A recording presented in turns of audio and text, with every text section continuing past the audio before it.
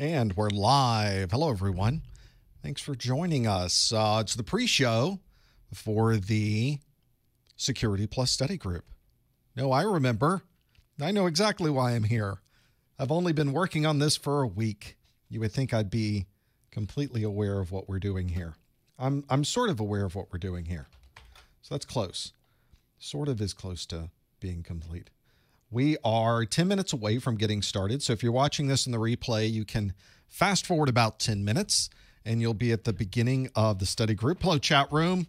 We were chatting back and forth here and before we went live on uh, professormesser.com slash live. If you're on that page, you can chat. If you're on YouTube, you can chat. We use the YouTube chat now, so you can chat away.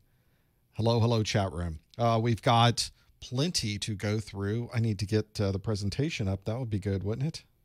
That would be good. Let's get this screen on this screen. Does it work? Is it live? Yes, it is. Excellent.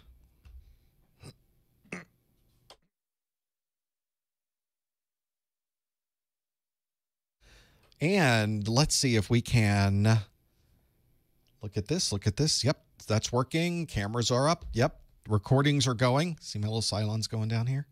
We also have a recording going over here. That's my streaming server. It's actually in the other room, but I have a terminal out here, screen out here I can see. So we also got recordings going on the YouTube. So we got plenty of recordings. What else do we need to make sure? Uh, the emails and other messages will go out in a few minutes.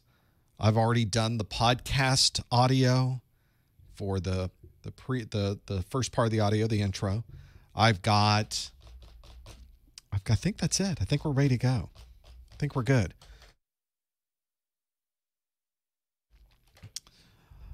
And lots of folks in the chat room already. Thanks for getting here early and uh, and checking in. We've got plenty to go through today. I've got tons of questions we wrote. There's all there's some new security stuff plus I've got that I'll talk about. So there's always something. Um and we'll go through we'll go through a number of different things. Uh, if you want the links to answer questions, sort of the links to other things, you can go to professormesser.com slash live. If you're on the YouTube, you can pop open a new browser window and go to professormesser.com slash QA. So that'd be good. Welcome back, North Carolina. Saudi Arabia is here. I think I saw Serbia is here. Welcome. We've got um, all Q&A on Security Plus today. So it's all Security Plus. Technically, I've been doing Security Plus in my head for the past three, four, five months, six months really, when I started this uh, last project of mine. We'll talk about the project in a bit. Paris, Tennessee is here. Germany's here. South Carolina checking in. There's Huntsville. Orlando is here. So, Florida folks, welcome. From Canada, originally from Hungary, welcome. Like when Canada checks in. Mrs. Professor Messer always likes to know that. DC is here. Thank you. Alaska, Socrative, Socrative app is what you're looking for. It's the Socrative Student app. There's DC again, Philly, hello. Colorado, Nigeria is here again. Thank you. Welcome. Senegal, New Jersey, Virginia, Maryland, Puerto Rico, welcome. Garland, Texas, UK is here. I'm glad we're able to get a good mix of who the the folks that are on the few hours east of me, a few hours west of me. I like that we're able to do that. There's Dallas, Phoenix, Peru. Welcome. Hey, Georgia.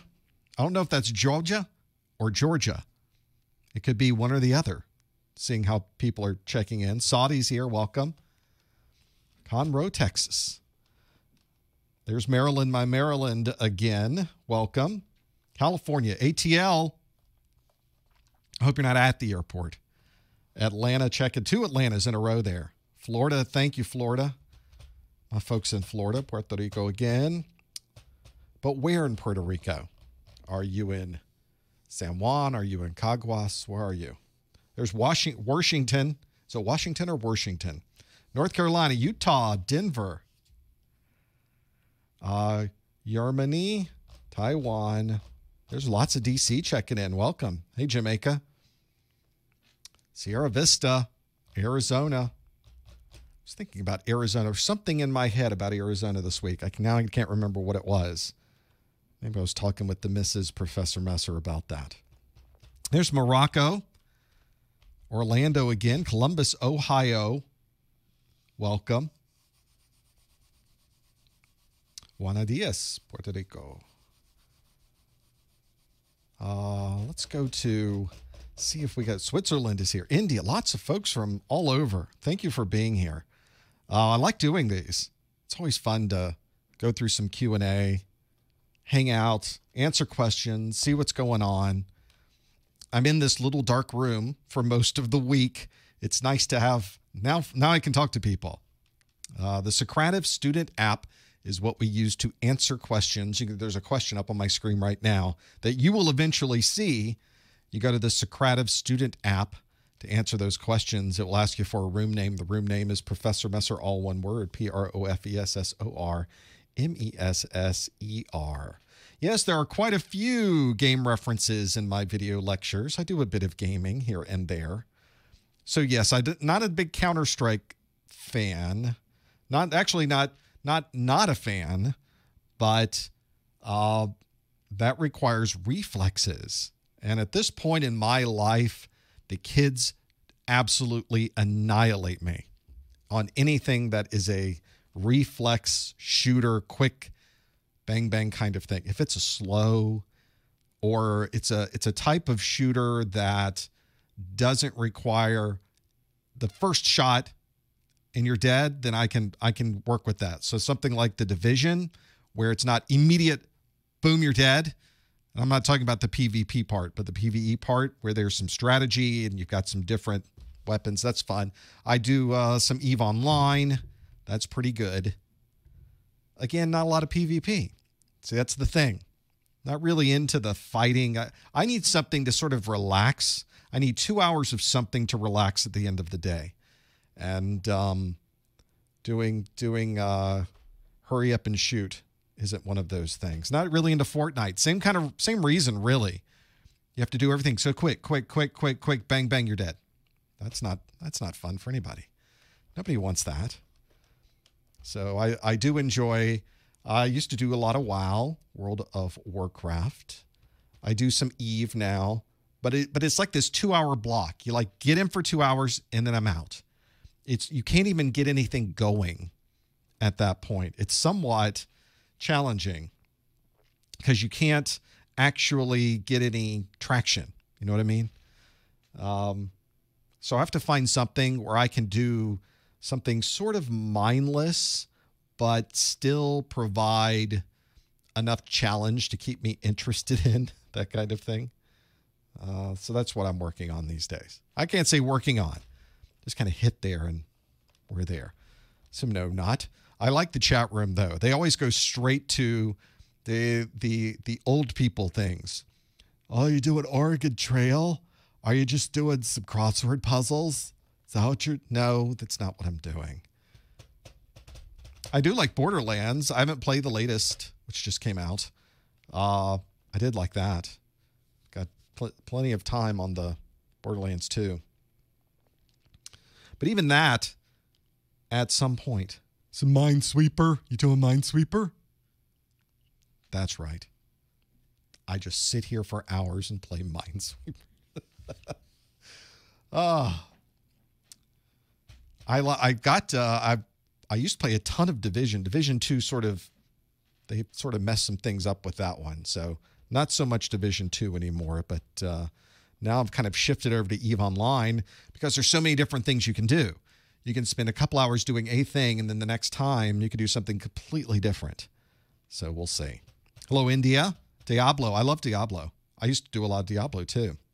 I was getting pretty good with that. Enjoy that too. Welcome, Massachusetts. Alpharetta's here. Welcome. I don't I don't do Minesweeper. I can't uh no. So that is Spaceball, Spaceball, Pinball. I love the pinball in Windows XP. Are you kidding? Who didn't like that? Well, speaking of liking something, I would like to get started with this. It's 12 noon. It's time to get started. Let's see if we can get the stream going. Let's see if I can remember how any of this works. Here we go, everybody. Hello, everyone. Welcome to the September 2019 Professor Messer Security Plus Study Group coming to you live here from Messer Studios. Welcome. My name is James Messer. I will be your host for this next hour of Q&A. Well, actually, this first hour, I'm going to ask you questions, and then we we officially end the study group, and then we have a study group after show where you can ask me questions. So it's a little bit of both. If you are watching this live, there's a live chat. We've been talking back and forth about completely ridiculous things for the last 10 minutes getting ready to go and making sure everything was ready to go here. Thanks for joining us there. You're welcome to join us also for that chat. We'd love to have you there. There's plenty to talk about today regarding Security Plus. So glad you're joining us. We will be going through, and I'll be explaining in just a moment how you can answer these questions live with me. These are all brand new questions. I write them for every study group. You haven't seen these questions before, so stick around and we'll talk all about that. Thanks for your ongoing support, by the way. Following me on Twitter, you go to professormesser.com slash Twitter. If you want to join us and subscribe on the YouTube, you can go to professormesser.com slash YouTube. And as you can probably figure out by now, you put in the name of the social media thing you would like to find me on. So professormesser.com slash Instagram takes me to the Professor Messer page on Instagram. So there's always something to do there. Uh, this particular study group brought to you by Professor Messer course notes. This is something that a lot of you have sent me messages and said, hey, this is actually a nice summary of everything that's in your videos. So I know there's a, over 100 videos for Security Plus. What I've done is taken all of my content for the Security Plus videos and put everything into one single PDF document. There's also a printed version as well. So all of the details about Security Plus, here's the PDF right here. This is 94 pages long, 93, 94. It's pretty long, but everything that's in my videos is separated out by video, all the text, all the graphics, all the details, everything that will help you summarize everything that's in your Security Plus videos. Uh, of course, you could take your own notes, and I highly, highly recommend that you take as many notes as you can, but not everybody has time to go through every single video that happens to be on the website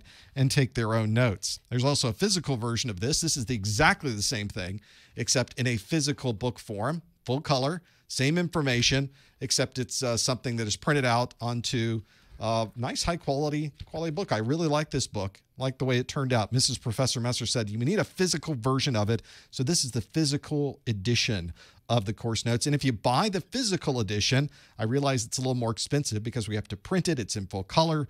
There's costs associated with that. But if you do buy this, you get the digital version for free. So thank you for your ongoing support with those study group course notes. Uh, this is something that does help keep the website up and running. So thank you for doing that. That's uh, an important part of this too. Is of course all of the videos uh, for Security Plus are all free to watch online. So you've got some some options there.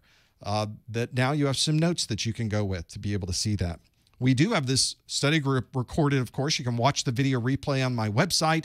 And we also have podcast versions of this. So if you'd like an audio only version, you can listen to in your car. It would download automatically to your podcast app.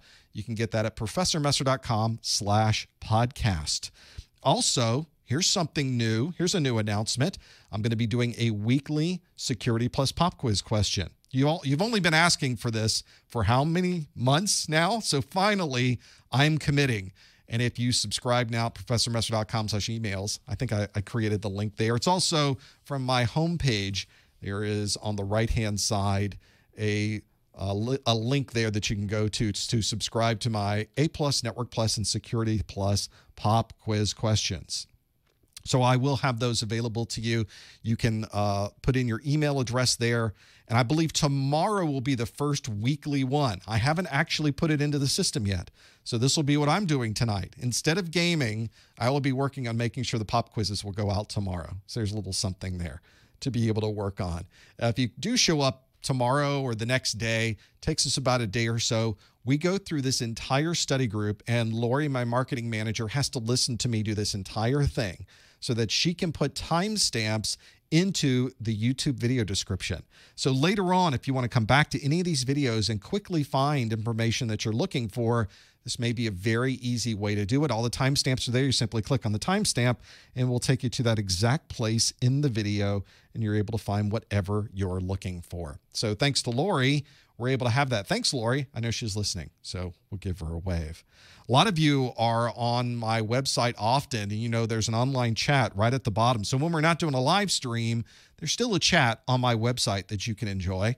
It's there 24 by 7. I'm obviously not looking at it now because we're doing the live stream, but I'll look at it after we're done here. It'll certainly be available. Uh, I spend a lot of time in Discord because I'm in a lot of different Discords. So I made a Discord at professormesser.com slash Discord that you could enjoy. Uh, I don't know exactly what we're going to do with that. Maybe you'll use it, maybe you won't use it. Maybe there'll be something you can take advantage. But I'm I'm always on Discord, so why not also be there as well? I want you to find the information you need as easily as possible, and that's one easy way to do it. Uh, we'll talk in a moment about how we can do more of these Q and A's in just a moment. Very quickly, though, I will also remind you: a lot of you uh, don't have a way to directly support the site with dollars, but there is a way that you can support us. If you're purchasing anything on Amazon, you can go to professormesser.com slash Amazon and you can purchase things from there as well. You pay the same price at Amazon, but Amazon gives us a little bit of your purchase so that we're able to keep things running here. And we appreciate your support and being able to do that.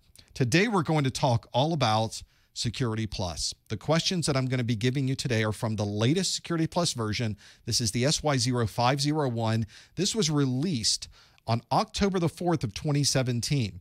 This means that in October of 2020, about a year or so from now, we may see a new version of Security Plus show up. We probably will. They do this in three year increments. So, right now, you're absolutely studying the right information. You have plenty of time to study. And by the way, when that new version comes out three years from now, the 501 will probably still be around for another six months after that. So, you've got a year and six months pretty much of being able to do that. Um, so, this is the right version. Make sure all of your study materials are for the SY0 501. Do not use study materials for previous version. This is a 90 minute exam. You can get a maximum of 90 questions, and your score is needs to be a 750 on a range from 100 to 900. That's a pretty aggressive score. So you have to know your stuff to get that Security Plus all taken care of. This is a multiple choice question and performance based questions. We'll talk more about what that is in just a moment. Today, many of you are asking in the chat room, how do we ask a question? How do we answer these questions? We'll talk more about answering first. We'll do asking in about an hour from now. So if you want to follow along with us and answer questions, if you are watching this live, you can use this link. Pop open a new browser window, go to professormesser.com slash QA. That's the link you want to go to. You could also use an app on your mobile device. This is called the Socrative Student app. You don't want the Socrative Teacher app. That's the one for me. This is the Socrative Student app. It will ask you for a room name. That room name is Professor Messer. If you are watching this on a replay, unfortunately, this live functionality is not available to you. But always check in. You never know when we're doing something live. Go to professormesser.com slash calendar and you can find out when the next live event is going to be. We'd love to have you follow along with us. Now, if you did all of those things properly, there's a question there waiting for you. This is a question from last month we call this our study group re- rewind question just to make sure that you're able to get in and answer these questions on the study group rewind. Here's the question it asks A malicious application has circumvented your wireless access point and is communicating directly between devices. Which of the following would best describe this technique? And as you can probably see, there are options available right on your screen. Is it VLAN, NAT, static routing, virtualization, or ad hoc. So, a malicious application has circumvented your wireless access point, is communicating directly between devices. Which of the following would best describe this technique? Is it VLAN, NAT, static routing, virtualization, or ad hoc? And as you can see on the screen, as you punch in your answer and submit it, I see what these answers are in real time. You can see 87% of you say it's ad hoc. If we had to go with the odds, I would probably go with that one along with you. So you'll notice there's other things here to work through. Now, if you wanted to answer these, your goal here is to absolutely participate. We'd love to have you to do, have you do that. Make sure that you go to professormesser.com/qa to lock in your answers. We're going to pretend we're taking the exam, so please don't put any answers in the chat room. Please don't put any hints in the chat room. We want to make sure that you're able to find exactly what you want and don't spoil it for anyone. And in fact, you got it absolutely right. That is the right answer. It's ad hoc. That's the one. Ad hoc is when you're able to communicate between wireless devices without using an access point. So it's point to point communication. A lot of times we don't even realize we're so used to connecting to the access point and using the access point, we almost forget that, oh, yeah, there is a way we can communicate directly between devices, and that is with an ad hoc communication. That is the right answer. If you answered E ad hoc, you got exactly the right answer with that. Now, when we were uh, talking earlier, I described the type of questions you would get on the exam as questions that would be uh, multiple choice, just like the one we just had. That was a multiple choice question where you have five different options or four different options, and you get to choose between one of those as the correct answer. But CompTIA at the very beginning of the exam will give you a handful of performance based questions. That's what they call these. Performance based questions are questions that are not multiple choice questions. And if you're not ready for this, this will throw you. So make sure you're aware that the first set of questions you get will seem very much different than a multiple choice question. And some people will will get thrown when that happens. So don't worry. These are normal. You get a uh, I say a handful you could get three, you could get seven, somewhere in there. You're not going to get a huge number of them, but there will be a number of performance based questions to go through. There are different strategies for answering these. A number of you will jump past the performance based questions, go right to the multiple choice, and then come back at the end to answer performance based. I think that's a pretty good strategy. Some people like getting the performance based questions out of the way immediately. That's up to you. So figure out why that happens to be. And maybe you you will look at that understand, yes, that's exactly uh, the, the way you would like to do it. Find the one that works for you. So, what I like to do in these study groups is to give you a performance based question. So, our first question of the study group, and you can go back to a year's worth of study groups, our very first question is always a performance based question. It's a new question. You've never seen this before. I write these just for the study group. And here is our performance based question of the month. This question asks match the device to the description. So I have five devices here. I have a proxy, a load balancer, an IPS, a SIEM, and a NAC. So those are five devices. And I have five descriptions. So this one this one should be a little bit easier. Sometimes they give you more descriptions than devices or vice versa so that some are left over. On this one, there's nothing left over. So I gave you kind of the easy version of this one. So here are the five different descriptions. One is create an uptime report for the last 24 hours. The next is block a known network attack. The third description is filter on a category of URL. Description D is require authentication when connecting to the network.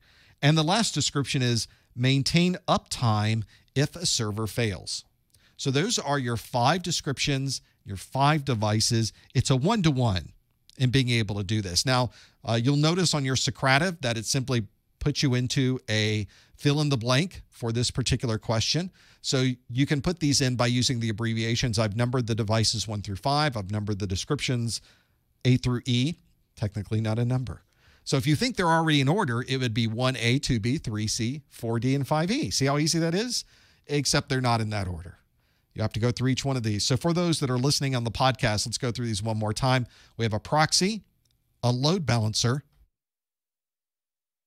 well, a proxy, a load balancer, an IPS, a SIEM, and a NAC. Those are the five different devices. Description A is create an uptime report for the last 24 hours. Description B is block a known network attack. Description C is filter on a category of URL. Description D is require authentication when connecting to the network, and description E is maintain uptime if a server fails. So the best way to answer this would be to go to professormesser.com slash QA. That's the way to do it. Now, if you do not see a question in your Socrative, then you're probably in the wrong room. The room name obviously is Professor Messer, all one word, P R O F E S S O R M E S S E R. If you would like to answer, don't answer in the chat room. You want to go to this link right at the bottom, professormesser.com slash QA to be able to answer that question. So just pop open a new browser window, a new browser tab, and go directly to that. Yes, the question is live and sitting there and waiting for you to answer to fill in the room or fill in the blank question for the room. If you are in Socrative, the name of that room is Professor Messer, all one word. You can find the details of that on professormesser.com slash live. Room name P-R-O-F-E-S-S-O-R M-E-S-S-E-R. Make sure you spell it right or there won't be anything there. You'll be in a room all by yourself. That'd be sad.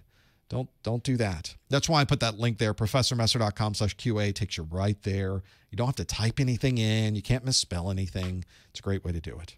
So feel free to have that, have those things available to you.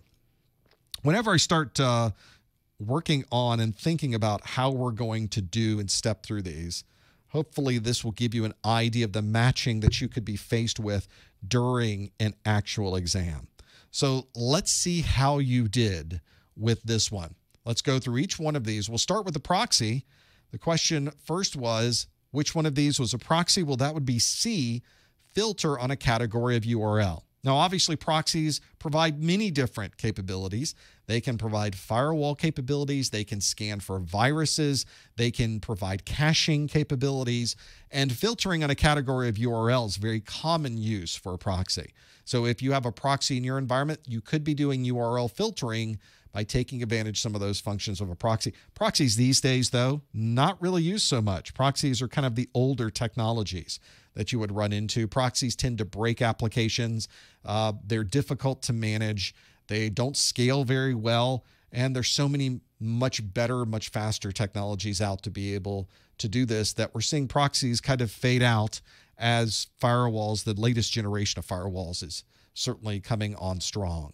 We also have the second option, which is load balancer. If a server fails, it would be great to have a load balancer there because you could have multiple servers in place and then be able to simply balance the load to all of the servers that are left running. If you're on professormesser.com right now, for example, you are connecting to a server that is part of a load balancer. There are multiple servers balancing the load between all of these. If I lose one of these servers, let's hope that doesn't happen. But if I was to, the other server would be available and everything hopefully would still be running. Now, is everything on a load balancer that I have? No, not everything. There's always a point of failure somewhere. That's one of the challenges with the security uh, issues and management issues of anybody's network. But a load balancer will go a long way to be able to do this. The third is an IPS. If you chose B, block a known network attack, that is exactly what you would find with an IPS. That is that is a detailed, very useful tool to be able to find attacks that are inbound and stop them before they get into the network. So make sure that you're able to go through those. The last is a SIEM. A SIEM is A, create an uptime report for the last 24 hours. That's security information, an event manager. That's a fantastic tool to have. It is uh, an incredibly powerful reporting tool. It consolidates log files from many, many different devices and allows you to create all different kinds of reports. So having a uptime report for the last 24 hours is right in the wheelhouse for a SIEM. And for those of you that have SIEMs in your environment, you know how powerful they are and how great they are to have them. It's a great tool if you're doing anything with security. And lastly, a NAC. Well, the only thing left is D, require authentication when connecting to the network. A, a NAC, network authentication, is an incredibly important piece of this. Uh, the part that I think a lot of people even miss is being able to have one centralized network authentication point becomes useful to be able to keep people off of the network. So nobody can do anything on the network unless they authenticate to the centralized method. Uh, and a NAC helps facilitate some of that on a, on a fully implemented network access control mechanism. This NAC will not only provide you access to the network, but it might change the configuration of where you're connecting to move you into particular VLAN for example. So if you're part of the marketing department and you log in, it might automatically move you to the marketing VLAN. So there's some extra capabilities involved when you're doing anything with NAC. Kind of nice to have that there. So that is a good example of a matching question. This might also be a fill in the blank. It might also be a drag and drop question on the exam. It might be presented to you in many different ways. The one we did today was a bit of a matching question. But these are the types of questions you should be ready for. Notice that questions like this did not ask you for definition. For instance, NAC didn't ask you, what does NAC stand for? Network Access Control. It's already assuming you know that NAC is network access control. What it wants to know is, what does that do? What value does that bring to the network? How do you use that? And those are the things that are going to be important for your exam. So hopefully you're able to get some of those right. Some of you in the chat room said, yes, we were able to get some of those. And in fact, these are useful things to know for your exam. Let's now move to the next question and do a multiple choice question. Here we are. We're going to go to the next multiple choice question, which asks Which of the following could be used to obtain the banner of a service? Which of the following could be used to obtain the banner of a service? Would it be TCP dump, Netcat, dig, traceroute, and netstat. Those are the five different options. And we're going to talk about this question in a moment. Uh, the question asks which of the following could be used to obtain the banner of a service?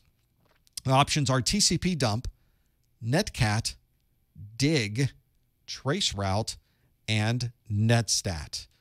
If you think you know the answer, go to professormesser.com slash QA. Please don't put answers in the chat room. No hints in the chat room. We're going to figure this out all on our own. And then we'll, of course, we'll all see what the answer happens to be. One of the things that's important with this particular question is as I'm reading through them, I'm thinking I might be able to get this answer. I could probably choose two, maybe three of these definitely two of these could be an answer, but you do have to think about how we connect to these services these days and what tools would work to be able to do that. Only one of these answers, 100% of the time, would be able to provide you with the banner of a service. And all five of these tools that I've listed here TCP dump, Netcat, Dig, Traceroute, and Netstat those are all five actual tools that you need to know for the Security Plus exam. So make sure you're familiar with those.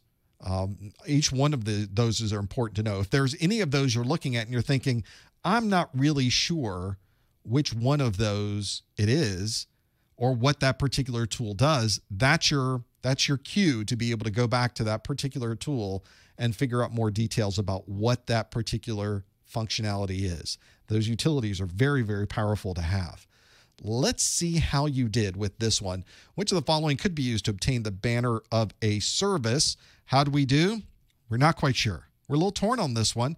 39% of you is uh, chose Netcat because it has cats in it. Of course, you would choose that. 23% of you said TCP dump would be how you would do that. 18% said dig, practically a tie. 17% said netstat, and only 4% of you said traceroute. So those are the five options. If we went with not a majority, but we have a plurality of answers, 39% of you chose netcat, that would be the one we would go with if we had to ask the audience. And indeed, it's netcat. That's what you would use to be able to grab that information directly from the network and concatenate it to your screen or to a file. That's the one you would like to use. It's great because it's able to pull this information off the network. You know, we use the copy command when we're at a command prompt to be able to copy a file. What if we could copy network traffic? That's what Netcat does for us. We're able to have Netcat make a request out to a device and we're able to see the responses that come back on this Netcat utility. And we're able to do a lot of different things with that. Uh, this is an extremely useful tool if you're trying to get information about a banner because often when you first connect to a service, there's banner information that is sent back to you across the network that often you don't even see. The application is able to use the banner information, but it's never presented to your screen. But by using Netcat, you can grab that network information, present it to your screen, and be able to see that. So, those of you that did answer B Netcat, 41% of you got that one absolutely right. Now, why wouldn't it be TCP dump? That would be valid if we could guarantee that every single one of the services that we ever use on the network are communicating in the clear. And that's the real challenge today is that our emails are sent encrypted, our web pages are sent encrypted. These services that we use on the network are very often encrypted. And that also means that you actually have to be capturing this information when the banner comes across. TCP dump doesn't make the request for the banner, it simply passively captures whatever happens to be on the network. So, not the best answer to obtain the banner of a service. If you had all of those things in place, that it was in the clear, that it was, and we're assuming you don't have access to the decryption key, but it's in the clear and it happened to go across the network at that time, then TCP dump could be used for that. Not the best answer for this question, though. The best answer and the one you should always be looking for in your exam is the best answer is netcat now why wouldn't it be dig dig is uh, dig's pretty rad dude dig's awesome are you digging it? Dig is very useful for gathering information from a name server, being able to resolve a name from an IP address or an IP address to a name. It is uh, effectively what we're using these days to be able to query name services and gather that information. Netstat is network statistics, provide you with tons of information about the statistics of what devices and servers your machine happens to be connecting to and what servers happen to be connecting to your machine what other devices might be connecting to your machine. So all of those very useful, but it doesn't gather banner information. So netstat would not be the useful term, but I use netstat all the time. Incredibly useful to have that there. Uh, and of course, traceroute, as the name implies, is able to trace uh, the routes between your device and another device on the network. You're able to see all the different routes in between. All five of those utilities are important to know for your Network Plus exam. So if you aren't familiar, you don't know those very well, those would be things to study. Make sure you're very familiar with them. The answer in this particular case is indeed Netcat. That was the one we were looking for. Hopefully, you were able to identify that one as being the tool that you would use. Let's do another per, uh, multiple choice question I have one here waiting for you. Let's move on to this question that asks A system administrator would like to limit account permissions to the minimum required for the user to complete their assigned tasks. Which of these would best describe this? So I have some options for you. Would it be A, least functionality, B, EAL, C is application whitelisting, D is TPM, and answer E is FDE. Now, if you think you know what those answers are, you can lock those in at professormesser.com slash QA. Make sure you go there. Please don't answer in the chat room. Please no hints in the chat room. We're going to figure this out on our own.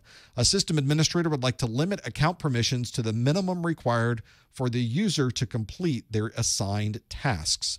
Which of these would best describe this? Would it be least functionality, EAL, application whitelisting, TPM, or FDE. All five of those useful things to know for your Security Plus exam, but only one that fits best here. So in the chat room, some people were mentioning there were lots of those tools, very useful to have those there. Remember, the trace route is sort of a generic name that can be used. There is a trace route available for Linux, but there's also trace route for Windows. It's just an abbreviated name, trace RT for trace route. Dig used in Linux, there's also a dig for Windows. So those aren't specific to an operating system. You can find these utilities available for almost any operating system to be able to do that. Hopefully you're familiar with some of those tools. You should you should absolutely be familiar with them. You need to make sure that you uh, can at least use those at command line and be familiar with that. So that's one that, of course, being able to do that is important. Dig is available. I mentioned in my uh, videos, you can download Dig and, and install on your Windows machine. It's just not available as part of the operating system right there. So another one to think about. Let's see how we did with this one, though. A system administrator would like to limit account permissions to the minimum required for the user to complete their assigned tasks. Which of these would best describe this? We have 75% of you say it is least functionality. We've got 9%, 8%, tie for second for EAL and application whitelisting. 6% say it's TPM, and then 2% say it's FDE. All of these, of course, real things. So make sure you know what all of these are. 75% of you, that's pretty strong to know what the answer is for this one. Least functionality, that's exactly what it is. Least functionality means that we're only going to give people the access they need, the minimum access they need to be able to do their job. This is an incredibly important concept in IT security. It is a concept that is constantly broken in IT security. Uh, there's so many times you'll walk into an organization and everybody has local administrator rights on their machine. That is certainly not least functionality. And if anything, it is the exact functionality that malware needs to be successful. So that is not what you want to have on somebody's system. Very often, the, the security was just never a concern, or people felt that security was getting in the way. So instead of making things the proper type of security, they instead just made everything wide open. And that's really why this particular least functionality idea becomes incredibly important for you. Make sure you're familiar with these. So there might be different configurations to make this a least functionality. Maybe you want to disable the ability to install printer drivers. Maybe you want to disable the ability to change the system time. These are almost the things that you don't want to, to even know that there's an issue. Notice that these are a little bit different than privileges, though. These are little, these are slightly different uh, in being able to work through this. This least functionality is exactly what we want to think about we are configuring these and making sure that people are only able to do what they need to do. So that's exactly the right answer. 76% of you say it's the least functionality. That's what you want to have available. Make sure you're familiar with those. The EAL was the one where you're you're thinking about uh, a system that is designed to perform to a particular set of security requirements. Those are the EAL. Very often see those in government type situations. Application whitelisting would allow certain applications to run, but not other applications to run. Here we're talking about account permissions and the minimum required capabilities. Uh, the TPM is Trusted Platform Module. This is cryptographic hardware that is hopefully on many of your devices used for cryptographic functions. In fact, TPM is very often used for full disk encryption or FDE. So those are the ones that you would work through. So very good. If you answered least functionality, answer A, 76% of you got that one absolutely right. Now, if you're going through these questions and you're wondering, there's a there's a lot here. There's a lot of these questions. These exams are asking me to recall a lot of information, and I could not agree more. And the Security Plus exam itself has its own set of challenges because it has its own way of asking questions.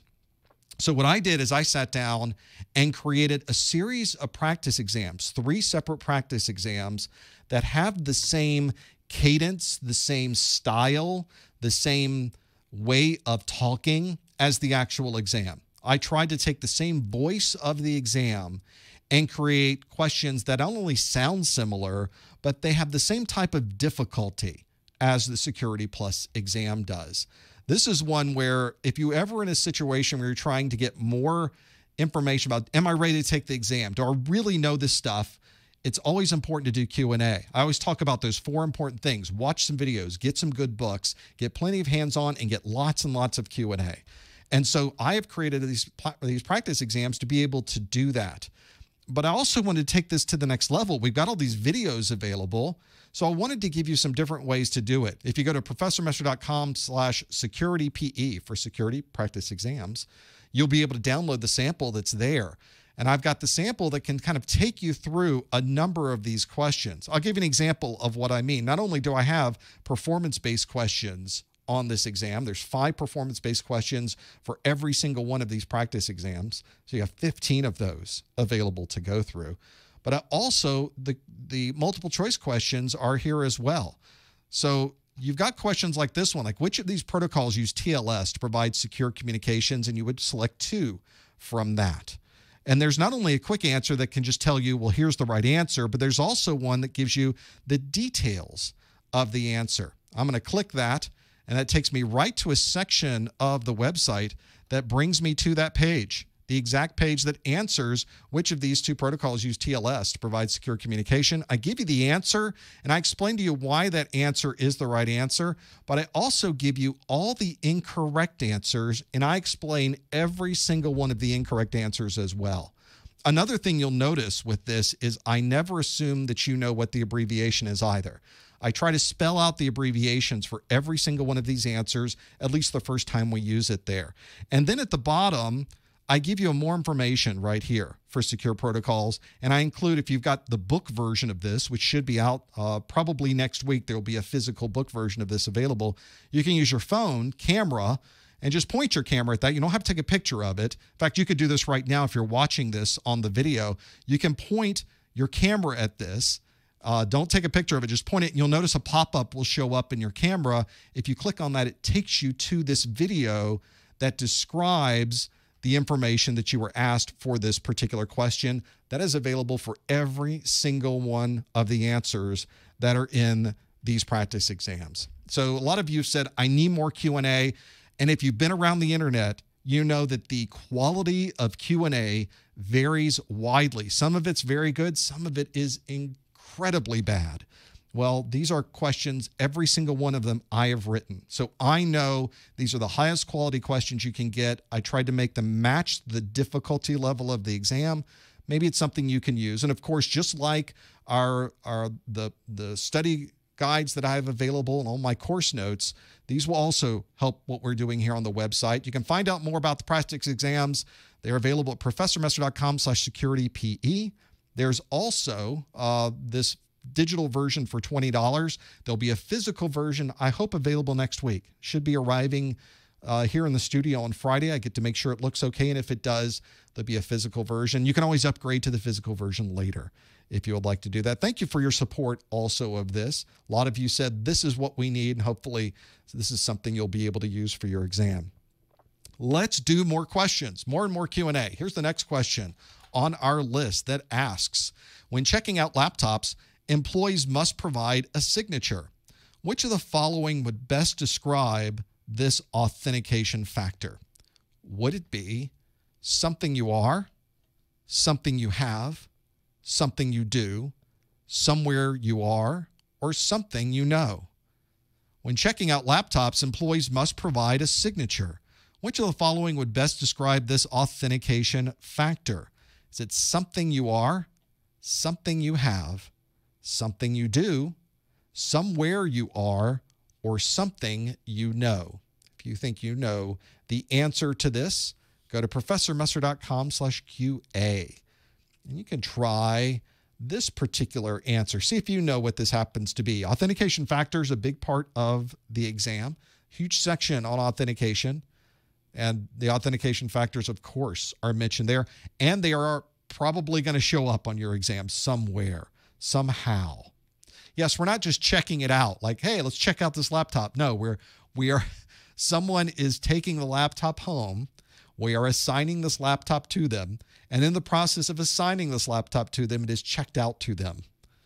so that's that was that's what that means. We are not there with a magnifying glass. Let us check out this laptop.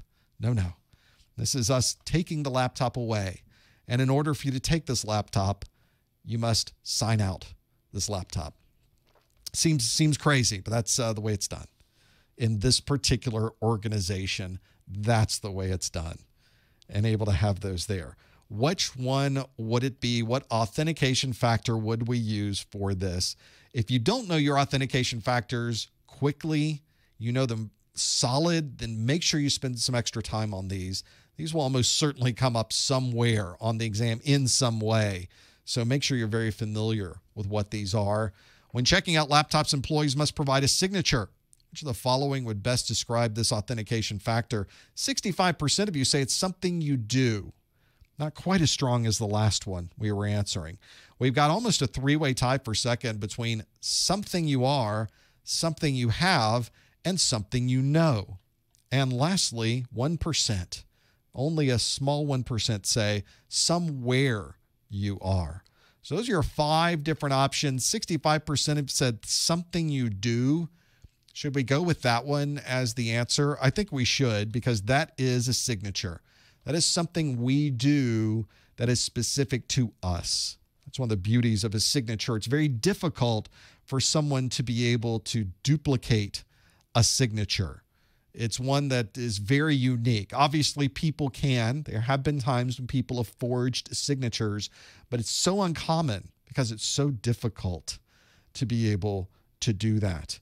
Something you do. Handwriting is a very good way to to have something that you do to be able to do this. If we even took it to uh, a very specific level, there have been studies done that evaluate how people type and the way that they type is something that they do. In fact, you may have a certain password you type in, and when you type it in, it's almost sing songy in the way that you type it.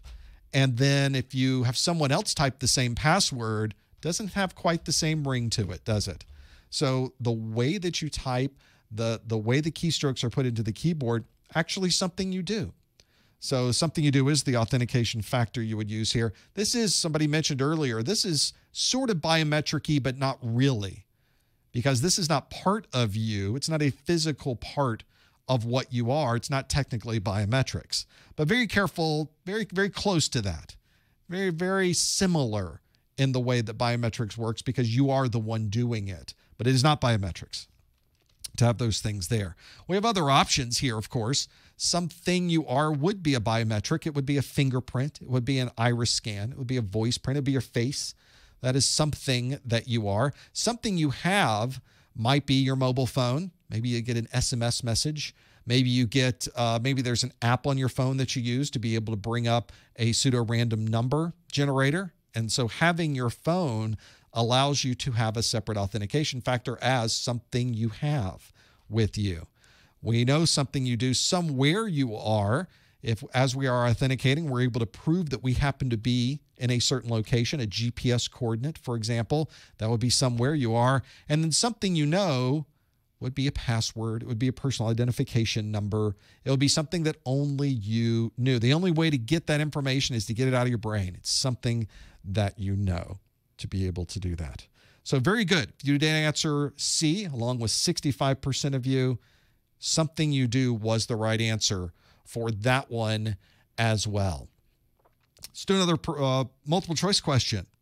Let's do one on security controls. Here's the question that asks Which of the following would be considered a corrective security control?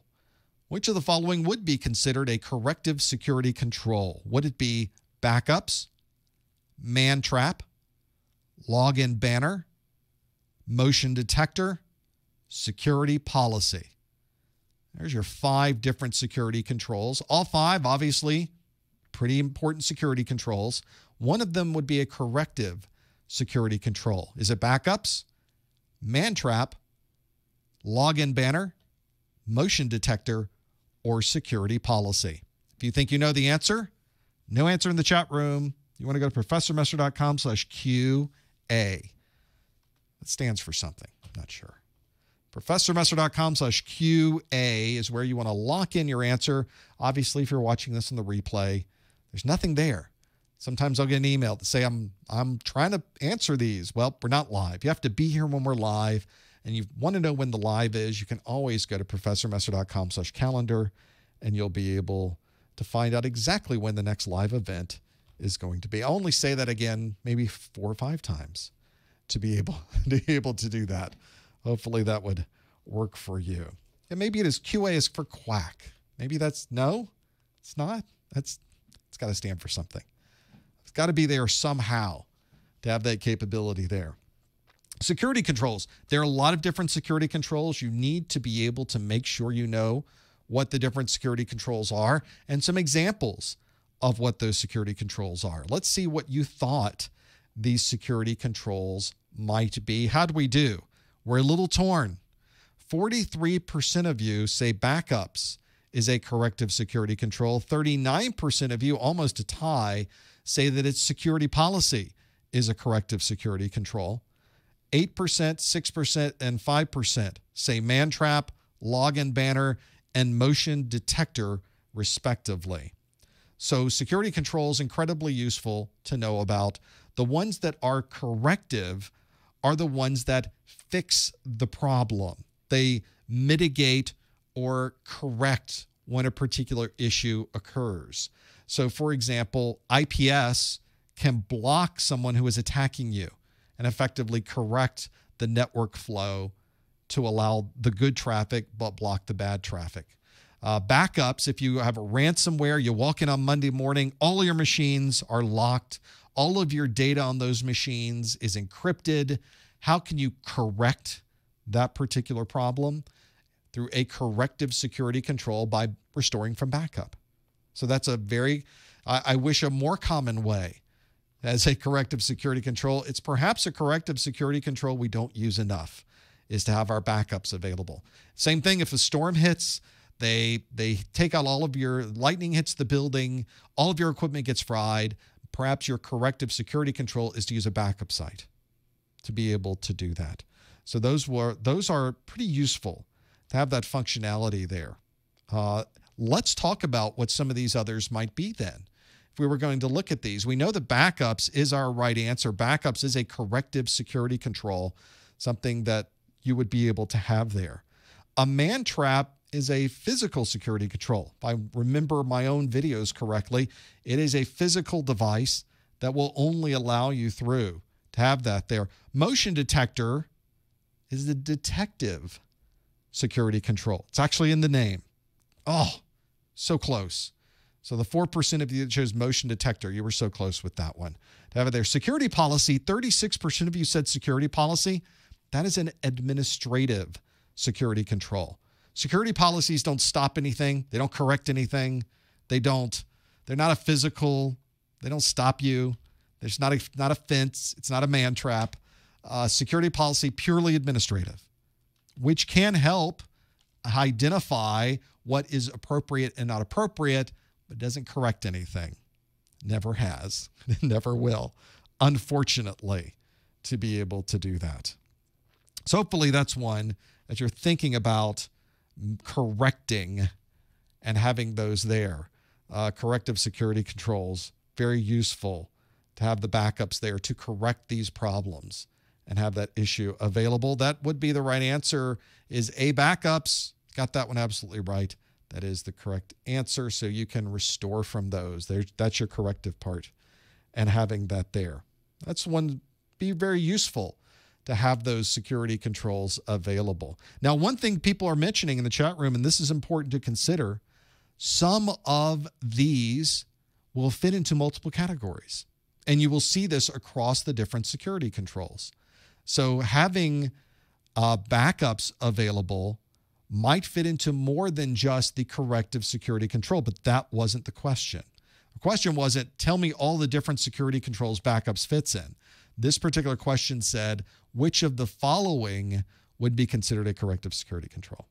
So those are the differences. Make sure, in fact, if you go through the video specific to these, and I always put the video right here at the bottom, section 5.7 security controls is the name of the video. Some of these do show up in more than one place, and that's why. Make sure you're familiar with that. Don't let that throw you. It's never an exclusive thing when it comes to security controls because some of these do fit into different categories. Make sure you're familiar with that as you go through them. If you're watching this video for continuing education unit credit, I would be glad to send you an email that has been digitally signed by me that says you must have watched this because you followed these exact instructions to be able to earn that email. So listen closely. So here we go. What you want to do is go to the top or the bottom of the Professor Messer website. There is a contact us link. In that contact us link, make sure you put your name. Obviously, put your email address. I very often get bounces back. Unfortunately, make sure you have the right email address in there.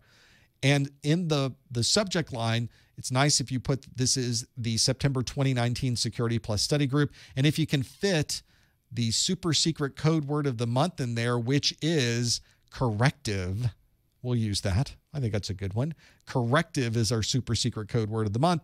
Uh, you could also put it into the body of the message as well. And if there was anything else you wanted to put into the body of the message, you're welcome to do that as well. I'm the one reading through these, parsing through them. I have an automated process that once I check and make sure that you have the correct code word for the correct month, I kind of hit one keystroke and it builds out the email and sends it off to you. So you have to make sure you use that exact set of steps. That's why not only is corrective important to know, but the rest of that process is all part of earning the CEU as well. If you don't follow that process, you end up not getting a CEU. And I don't want you not to have a CEU.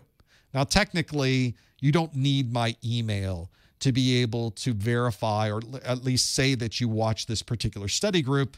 But I always think it's nice to have something that if they do audit you, you can show them, nope, I've got the digitally signed email. It's digitally signed, so I couldn't have changed it. It's from Professor Messer. We have non repudiation. That's the beauty of Security Plus. You know all of these things now.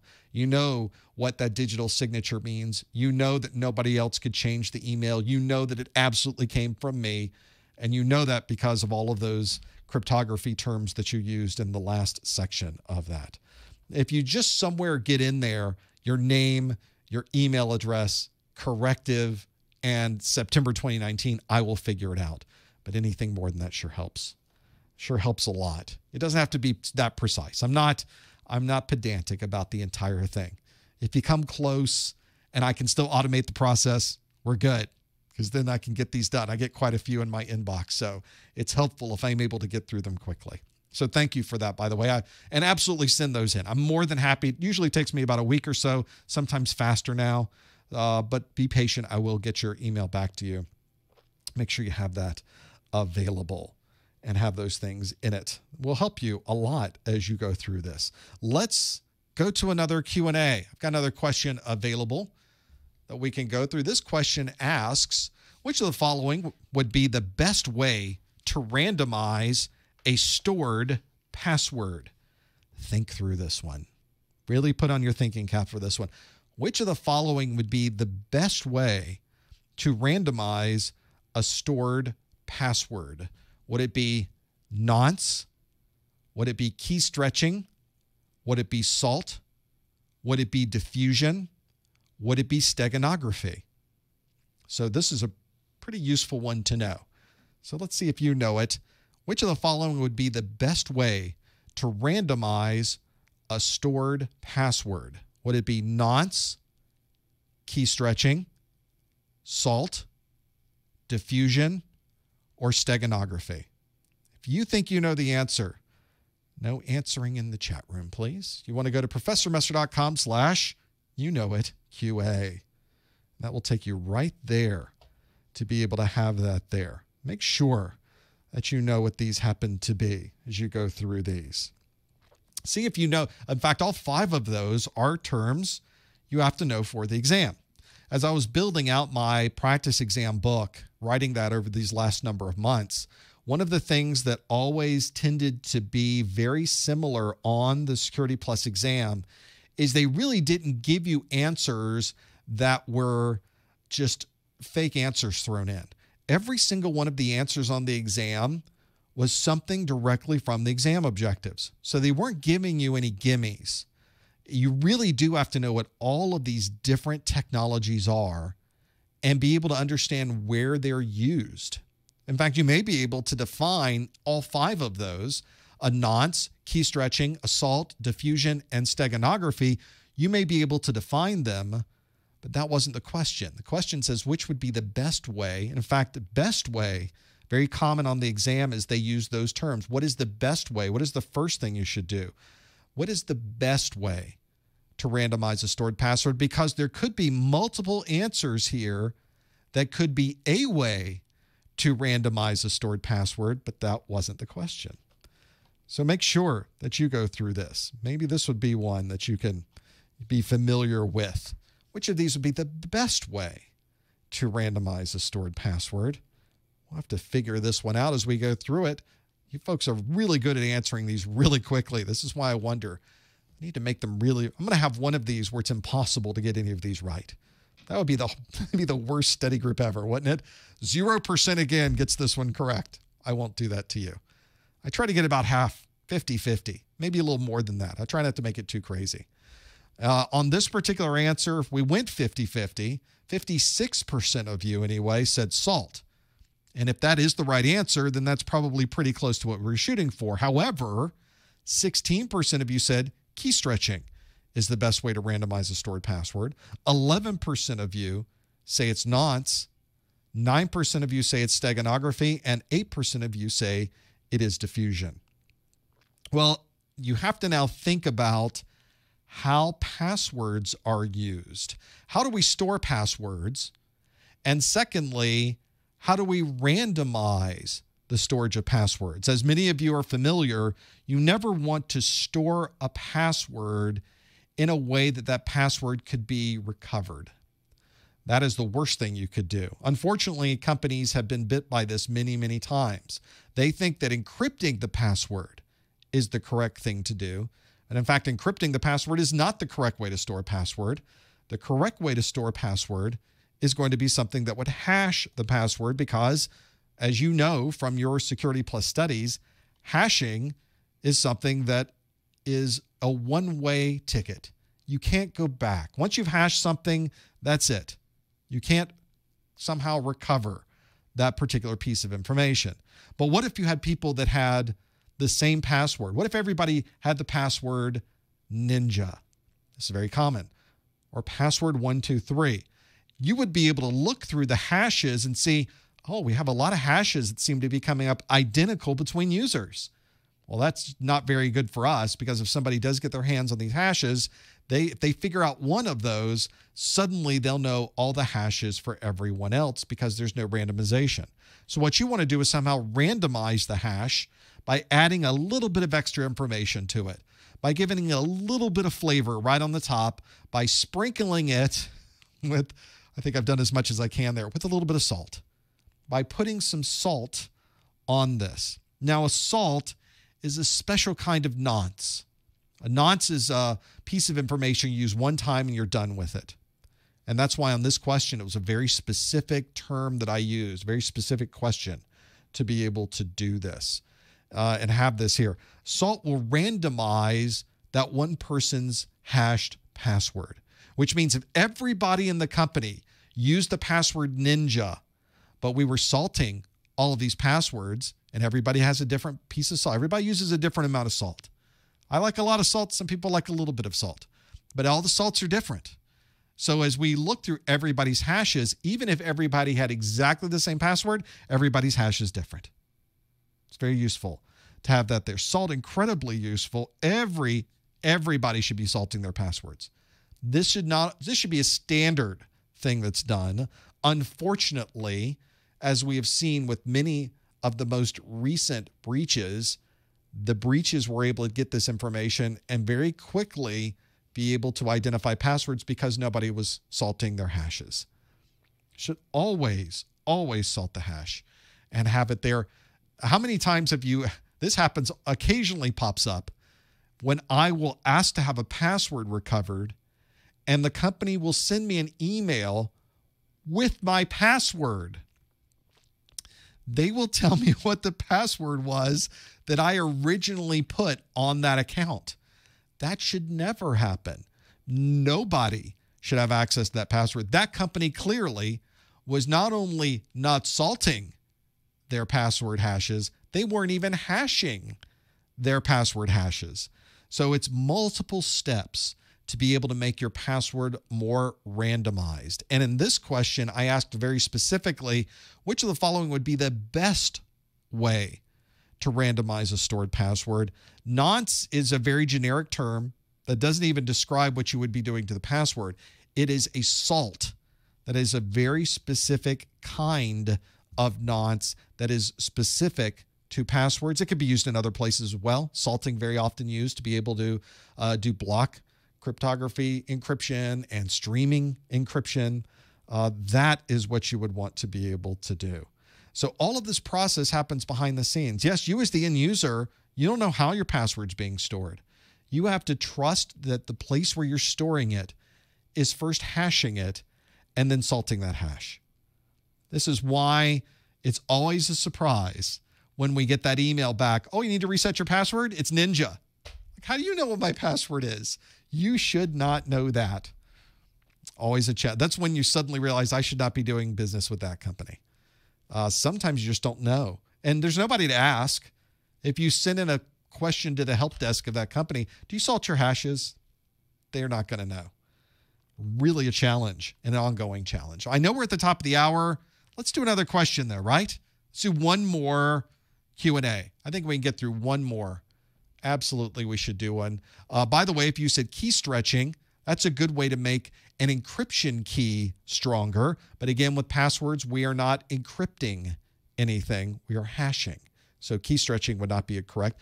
Diffusion is a way that we can change the way that information is seen when we encrypt it. And the diffusion that we're doing here uh, is that's not how you randomize a stored password. You salt it to be able to randomize the store the the stored password. In fact, the diffusion sort of a, a byproduct of that. And we have steganography where we can hide information sort of in plain sight. We hide information. Very commonly, we refer to steganography as hiding information in a picture. So somewhere in that picture, we've hidden our password. You won't know how to see that password unless you're able to use the correct method to pull it out of that graphics file. That's a good way to use steganography. You should not be using steganography to store your passwords. So don't do that for those. So those are the other options that are there. If you chose salt, answer C, 57% of you were spot on. Let's do another question. Here's another question we got here that asks A security administrator has gained root access to an internal Linux imaging server using a known exploit. Which of the following would best describe this attack?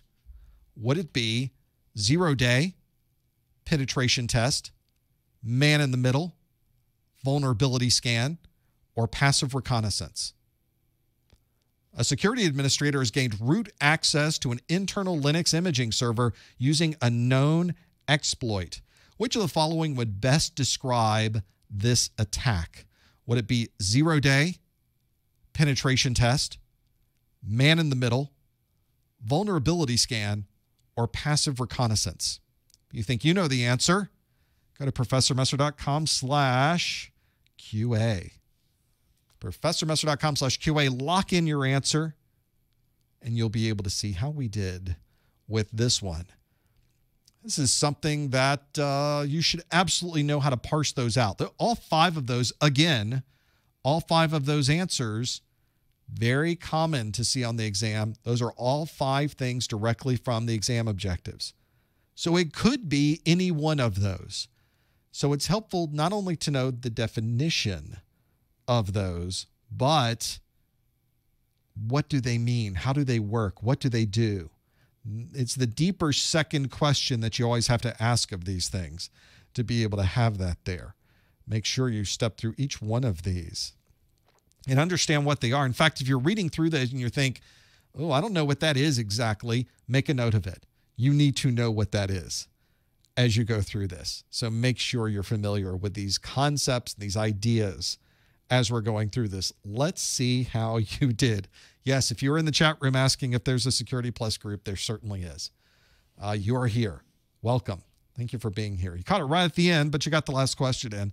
A security administrator has gained root access to an internal Linux imaging server using a known exploit. Which of the following would best describe this attack? 64% of you say it's a penetration test. 13% of you say that's a zero day. And then it's a three way tie for third saying passive reconnaissance, vulnerability scan, and man in the middle is all about 7 or 8%. So, which would be the right answer here. If we go with the majority 64% of you say penetration test. Is it really a penetration test? It absolutely is. That's what's going on here. That is what is happening here for this particular answer is it's a penetration test. We are simulating we are trying we are working on having this attack actually take place. Now, it's a little bit different than a vulnerability scan. A vulnerability scan might have told us this particular server may be susceptible to this particular kind of attack. But a vulnerability scan doesn't actually perform the attack. It goes just far enough, but doesn't actually try to perform an exploit. So, this is one where it's very common for companies to perform these penetration tests. Maybe you've run a vulnerability scan, it says that server's susceptible. Is it really? Let's do another test where we really try that exploit to see if it really is susceptible, which is exactly what happened here is that the security administrator got root access to this imaging server using a known exploit. And that is the one that's the important part of this is that it's a known exploit. That helps you on this particular question. So this attack is indeed a penetration test. It's not a vulnerability scan because as we mentioned, there was an actual exploit that was being attempted on this machine. That meant it could not have been a vulnerability scan. It's certainly not passive.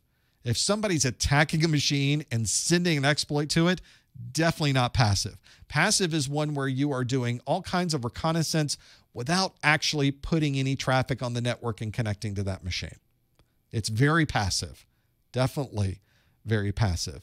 Uh, would not be a zero day. 12% of you chose zero day, but in this particular case, the system administrator used a known exploit. This was zero day. This would be an unknown exploit. That means your security administrator is strong with their entire ninja foo security thing that they do. If they happen to have an unknown exploit to this, then that's scary in that hopefully that security administrator has already communicated to the Linux or imaging server company on the exploit that they discovered that nobody happens to know anything about because if they did that would be zero day but in this case it was a known exploit definitely not zero day. And then the last we have here is man in the middle. There's nobody here with man in the middle here. Man in the middle is an attack where somebody uh, is in the middle of a conversation. The security administrator is communicating to a Linux server, and then some unknown individual in the middle grabs what one side is doing, perhaps even manipulates it and sends it off to the other side, or maybe simply looks at what's going by onto the other side. That would be a man in the middle. In this case, it's two machines directly communicating between each other a security administrator and a Linux imaging server. There's no uh, there's nothing in this question that would lead us to believe that there was a third party involved with any of this, so man in the middle would not be the appropriate answer here. The best possible answer on this one is indeed the penetration test. If you're one of the 65% of you that answered penetration test, you got that one absolutely right. All of these questions, by the way, that we've gone through today come directly from the CompTIA Security Plus exam objectives. If you have not downloaded these objectives, you are doing yourself a disservice. You should absolutely go out and get these objectives right now. You can get them at professormesser.com slash objectives. Make sure you have these objectives. They are very, very, very important. Uh, they are a fantastic checklist, and they will tell you exactly what you need to know to pass this exam. Uh, they are great to read through before you start your studies. They should be the last thing you go through before you take the exam just to check off and make sure that you've covered everything you need to cover for this exam. We do one of these study groups every month. This one, we've come to the end of the part where I ask you questions. Stick around. The next hour, you're going to ask me questions. I'll take questions from the chat room. We'll take questions from the phones. We'll have you send that information in. But we'll do another one of these next month. Stop back by for the next Security Plus study group on October 23rd. I have an A Plus study group on the 8th and the 10th. There's a Network Plus study group on the 16th uh, and 23rd of this of October. You can always come back for those to be able to do this. So plenty there to step through with these pieces. Uh, don't forget, my course notes are available at professormesser.com slash securitycn. The brand new Security Plus Practice uh, exam questions, brand new. Nobody ever heard about them until this study group. So you can check those out at professormesser.com slash securitype for my Security Plus Practice exam questions. Don't forget, you can go to YouTube, to Twitter, to Instagram by typing in professormesser.com slash the name of the thing you would like for it to go to. Don't forget about supporting us on Amazon by going to professormesser.com slash Amazon. We appreciate that as well. Thanks for being here this time. We have plenty more to talk about, plenty more things to go through. Stick around. We'll do another hour of Q&A that goes my direction right after this. Thanks for being here, though, for this one. We'll see you next time on the Security Plus Study Group. Let's see if I can bring up those phone lines. There we go. Get this here. That was some good Q&A to have that there. I should find those. To get to the CompTIA exam objectives, professormesser.com slash objectives will get you right there. To have that there. Let me bring up the phone lines. We'll also take questions from the chat room. So if you're watching on YouTube or you're watching on my website, it'll be that chat room for the YouTube chat room. Oh, thanks for the folks that already have the practice exam. Yeah, I stuck them out there this weekend. I didn't even tell anybody. They were just sort of there. Thank you for supporting us. Thank you for grabbing those. I hope it's been a useful thing for you. I'm very proud of that book. I, I really like the content that's in there. I think that's going to help you. Let's get this show started.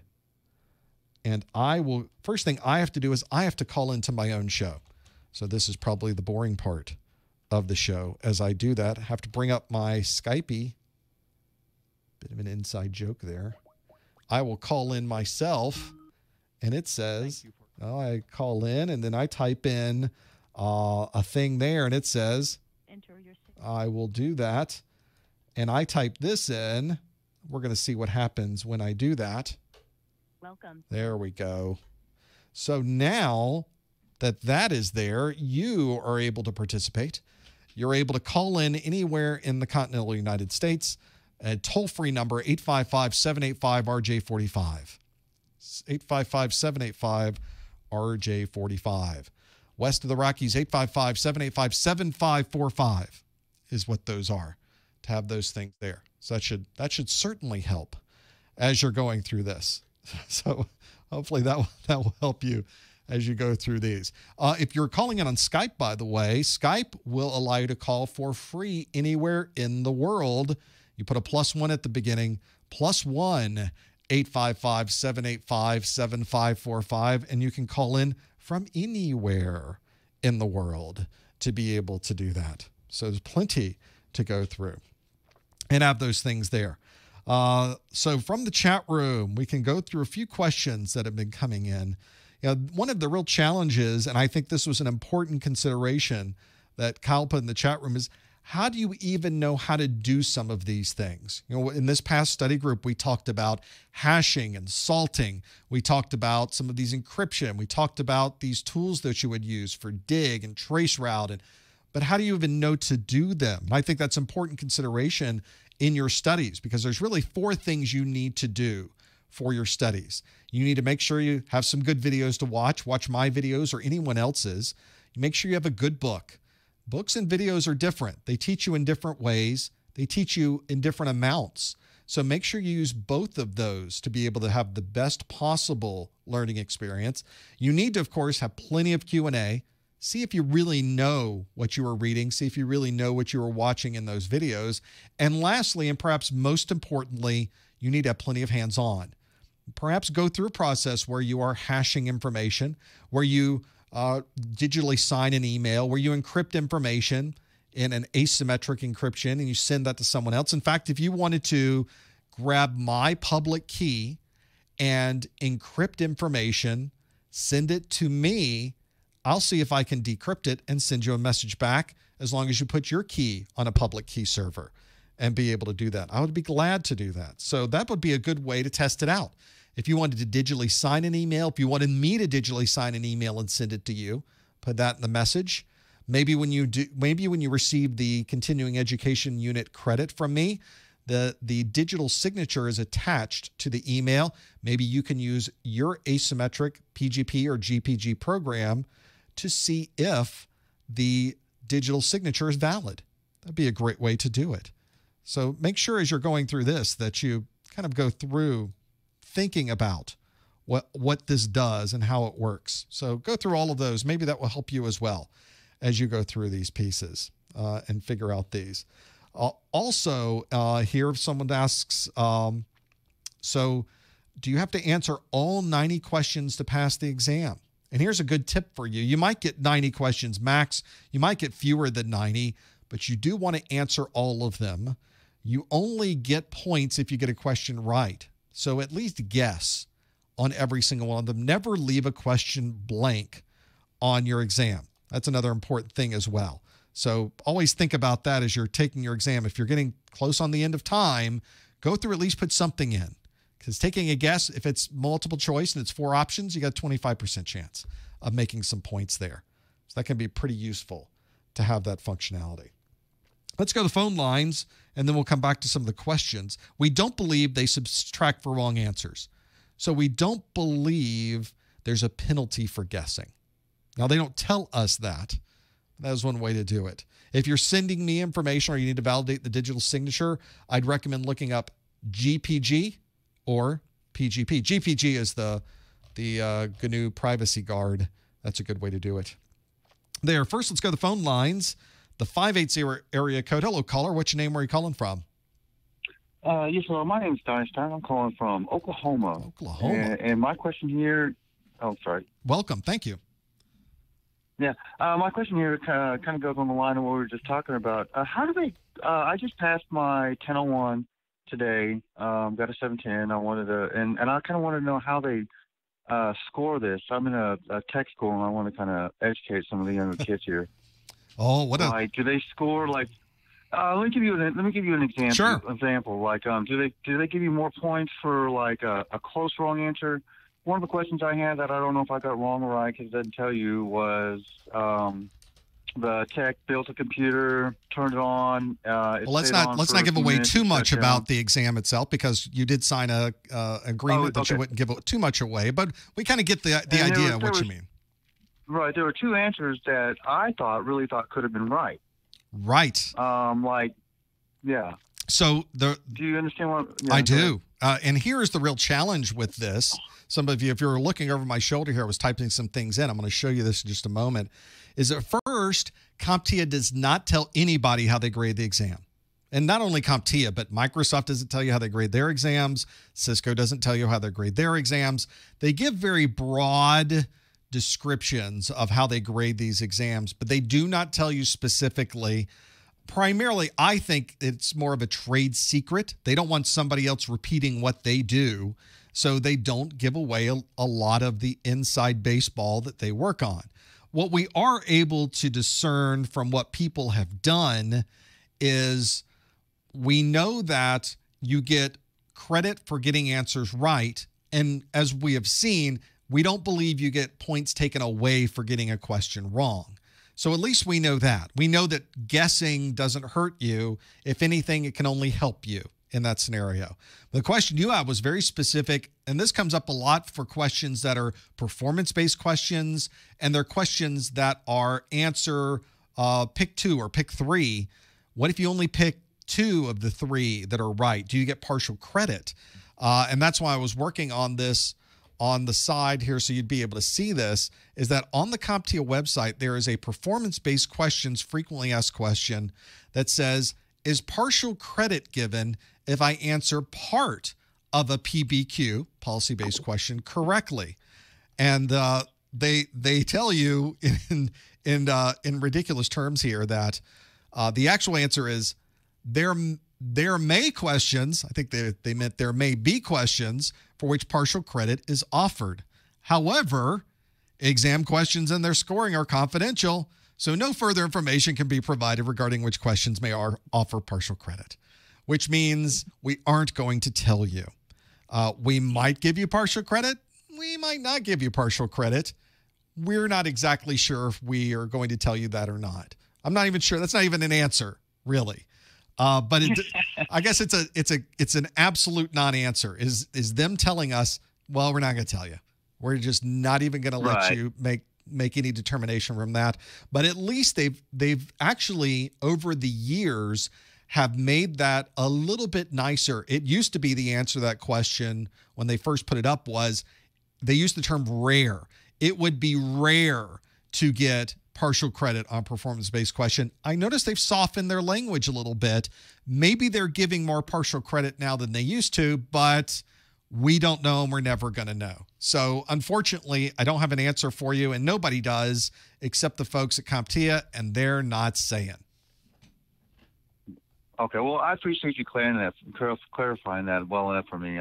Thank you, and thank you for helping me pass the 1001. I, I don't think I would have done it without your. Um, without your webinars. Well, congratulations. I did the easy part. You're the one that had to take the exam. So, congratulations for you. I, I, guess the 1002 is next for you? Yes, sir. All right. Well, best of luck with that. Thank you. Have a great day. Thanks. You too. That's fantastic to hear, too. Always like when he, people are able to get those exams taken care of. Yeah, it's kind of a challenge because you never know is there going to be partial credit oh, on these? They just don't tell you. I think they're giving more than they used to, though, for these. I don't know if that's one where it really is the case or it's not the case. I don't know. But uh, we will find out eventually. Uh, quickly back to the video. Some people are asking, hey, why wasn't this information in your videos? Why didn't you have this information in the video? My videos are taken directly from the CompTIA exam objectives. If it is in the exam objectives, it is in the videos. If it is not in the exam objectives, it is not in the videos. I stay very close to that. And I realize some people would like to go outside the scope of the exam objectives. And I, I agree, you should, and you will in your career go outside that. But I make the videos specifically for the certification. Uh, the question was specifically about port numbers. Is that port numbers aren't in my videos. And if you look through the exam objectives, there are no port numbers listed in the exam objectives. But I will tell you that CompTIA has a certain expectation of you taking this exam. And if you read through the first part of the exam objectives, they're expecting you to already have some experience in security or at least in IT administration and network administration.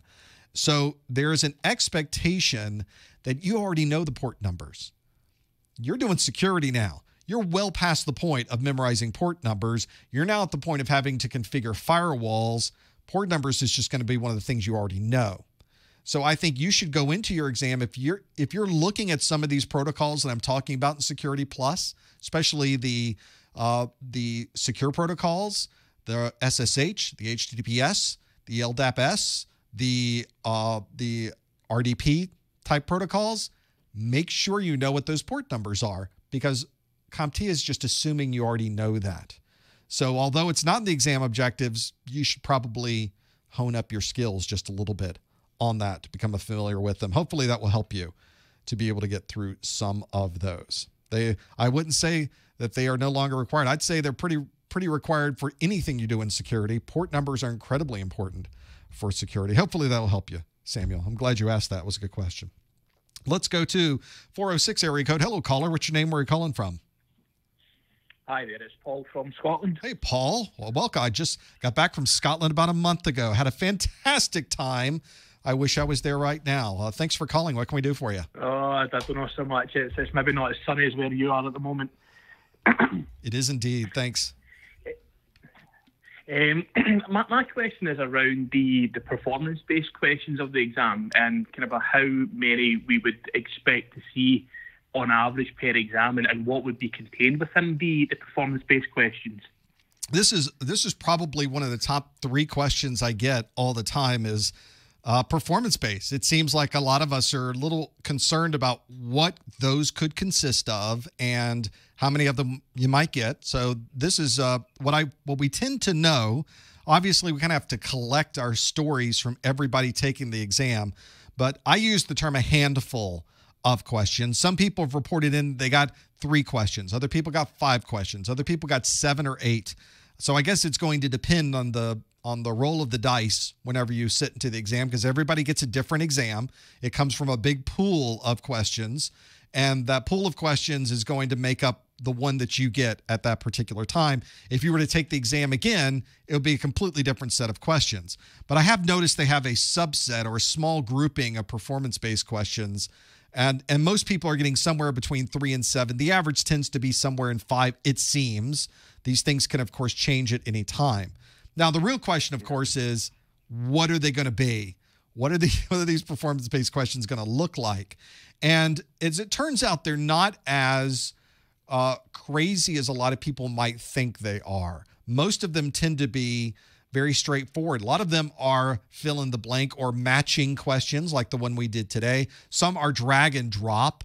Uh, some they might give you. Uh, in fact, in my book, I give you an example of uh, here is a network diagram here's a, a lot of different buildings, uh, rooms in a building, what type of security should go in the appropriate place in the building, and it's kind of a drag and drop.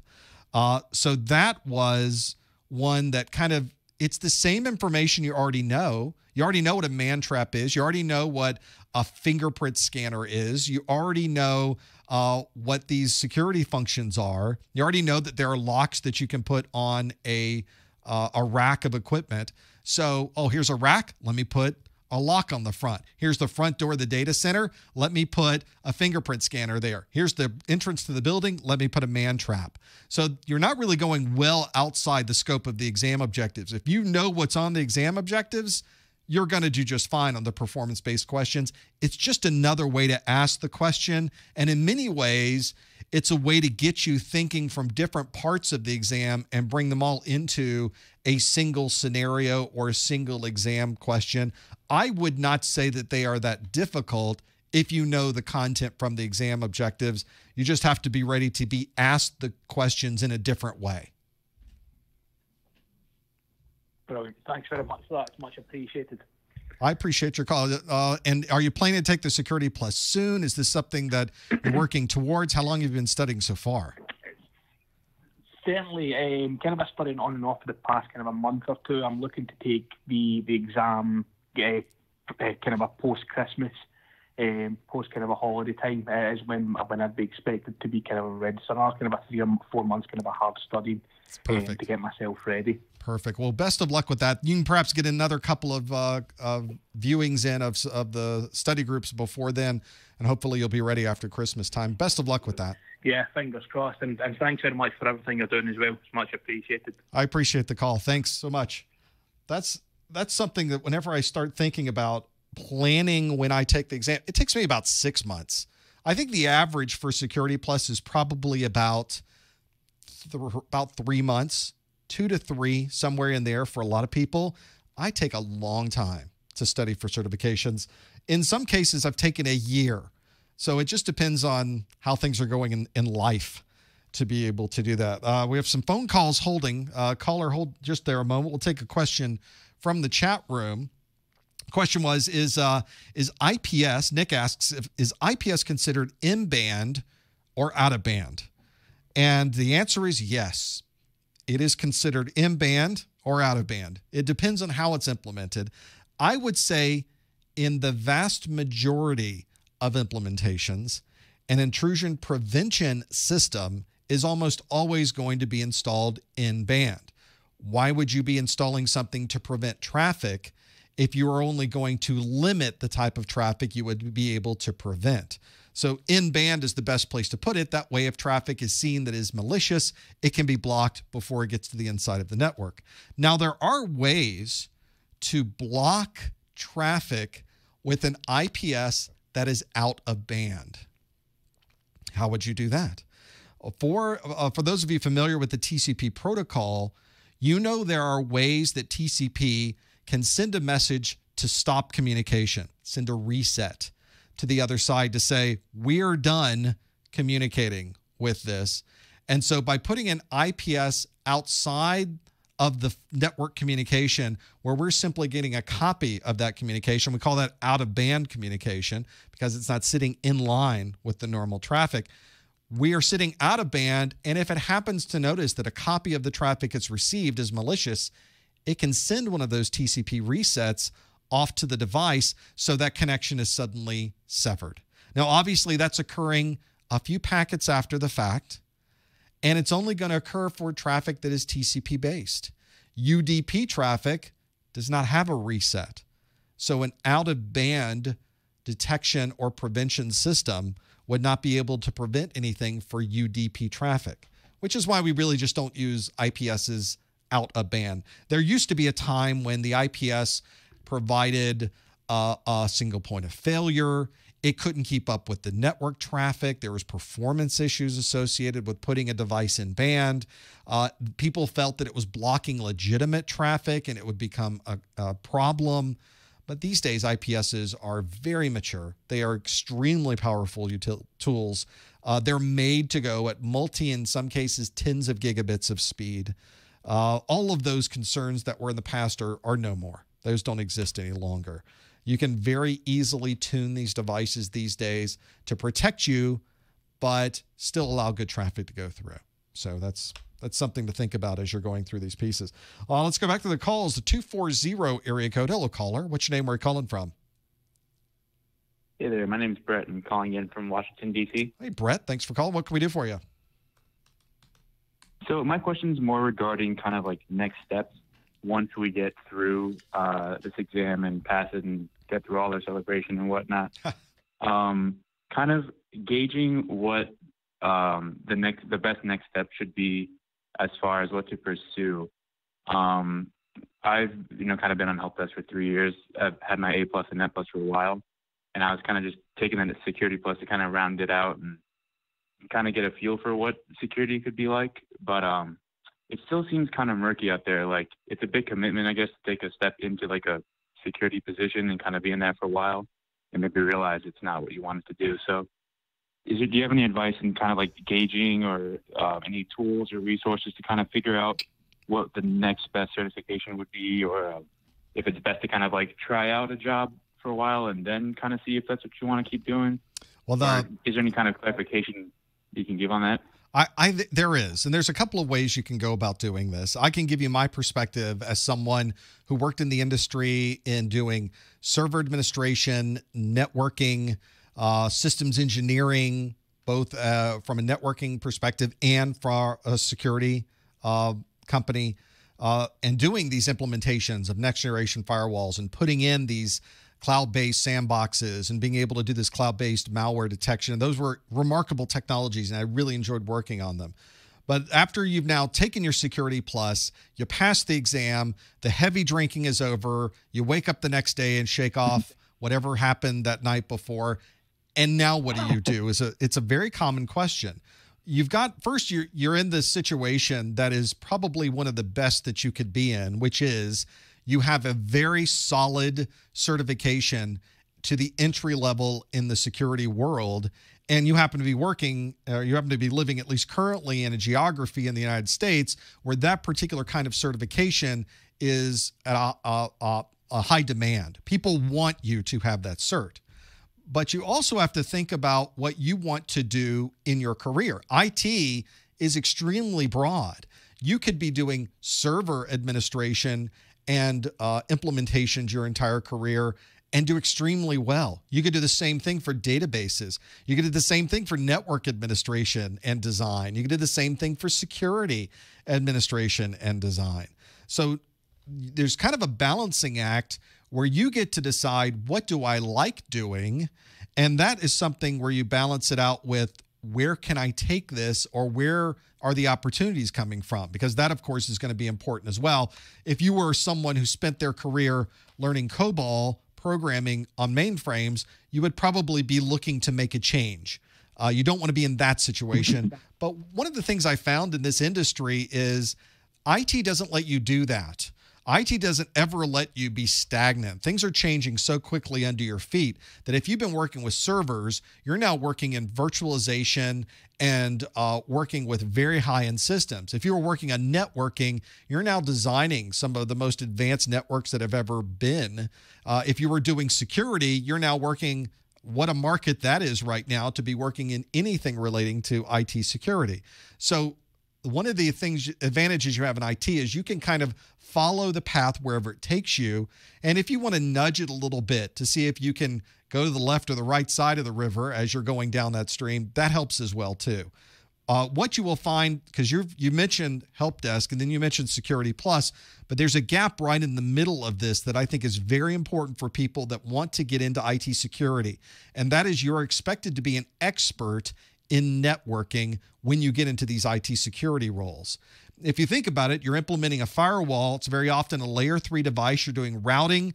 You may be sitting at the edge of the network where there's BGP routing on the outside. You may be doing static routing or uh, EIGRP or some other type of OSPF on the inside. You have to put in this technology usually with two multiple redundant firewalls. Sometimes it's in, uh, engineered as an active active configuration. Sometimes it's engineered as active passive. Each one of those is designed differently, needs to be engineered differently, is implemented differently, and the configurations on the inside of your network are going to be different depending on how you implement those.